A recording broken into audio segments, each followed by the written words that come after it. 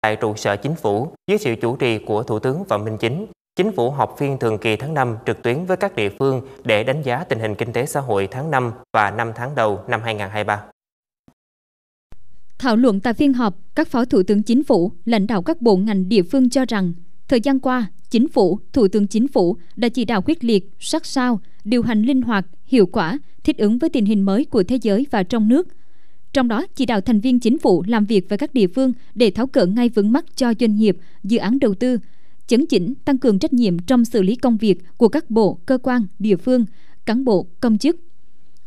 Phát biểu chỉ đạo tại phiên họp, sau khi phân tích tình hình quốc tế trong nước,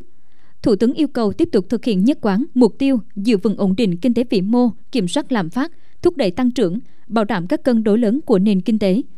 Thực hiện chính sách tiền tệ chắc chắn, chủ động, linh hoạt, kịp thời, hiệu quả, phối hợp đồng bộ với chính sách tài khóa mở rộng hợp lý, có trọng tâm, trọng điểm. Trên quan điểm tập trung ưu tiên cho thúc đẩy tăng trưởng, Thủ tướng Chính phủ chỉ đạo các bộ ngành địa phương tập trung cao độ triển khai các nhiệm vụ, giải pháp, tháo gỡ khó khăn cho sản xuất kinh doanh, đẩy mạnh ba động lực tăng trưởng gồm xuất khẩu, đầu tư và tiêu dùng.